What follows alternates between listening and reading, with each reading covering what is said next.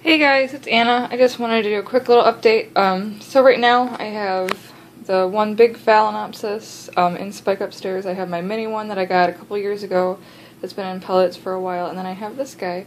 This guy is sending out a spike too. Um, you can see it. I just saw it when I was watering this morning. Um, made me so happy because I was worried about this one. My cats like to knock stuff over a lot, and um, but other than that. I want to show you something else. Hold on one second.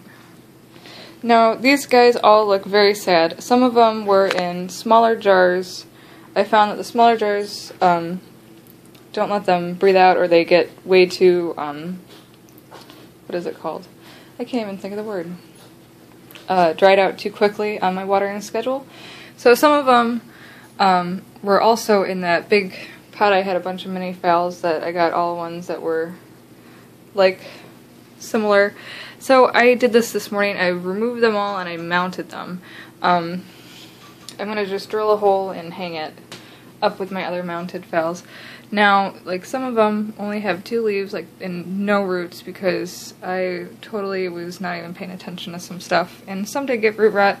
Some have, like this one is trying real hard. It has this little leaf. Um, I think I also over fertilized these, I was fertilizing them really heavily for a minute because I thought they were getting under fertilized, and I think I burnt their leaves. So, um, I don't think they're infected.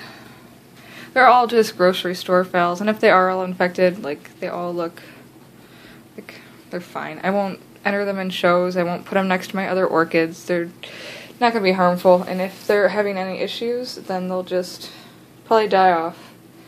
Um, sad, but whatever. So one, two, three, four, five, six, seven. So I have seven right here. They're discounted orchids for the most part. Um, so yeah, I figured I'd share some good news and some hopefully good news soon. So you guys have a great day, and I will talk to you later.